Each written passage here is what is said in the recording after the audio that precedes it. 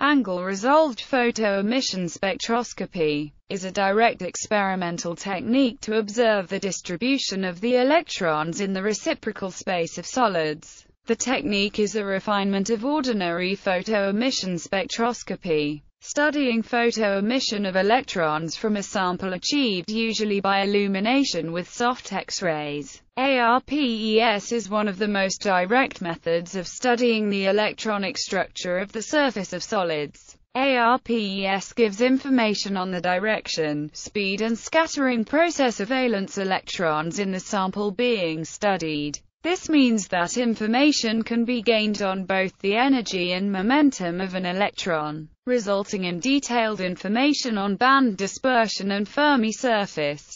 The technique is also known as ARUPS when using ultraviolet light to generate photoemission. Theory From conservation of energy, we have where E is the binding energy of the electron. Photon momentum is often neglected because of its relatively small contribution compared with electron momentum. In the typical case, where the surface of the sample is smooth, translational symmetry requires that the component of electron momentum in the plane of the sample be conserved where kinetic energy of the outgoing electron, measured, incoming photon energy, measured, electron work function, momentum of the outgoing electron, measured by angle, initial momentum of the electron. However, the normal component of electron momentum might not be conserved. The typical way of dealing with this is to assume that the final in crystal states are free electron-like, in which case one has in which denotes the band depth from vacuum, including electron work function, can be determined by examining only the electrons emitted perpendicular to the surface, measuring their kinetic energy as a function of incident photon energy.